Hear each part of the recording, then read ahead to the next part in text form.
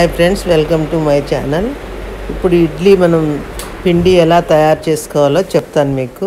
First మనం పప్పు నానబెట్టుకోవాలి. నేను ఈ గ్లాస్తో త్రీ గ్లాస్ తీసుకున్నాను. ఎయిట్ అవర్స్ నానాలి. నానిన తర్వాత దాన్ని కడిగేసి బాగా పిండి బట్టి దాంట్లో ఒక గ్లాస్కి ఒకటిన్నర గ్లాస్ రవ్వ రవ్వ మెత్తగా ఉంటే ఒకటిన్నర గ్లాస్ పోసుకోవచ్చు. గట్టిగా ఉంటే ఒక గ్లాస్ పోసుకోవాలి.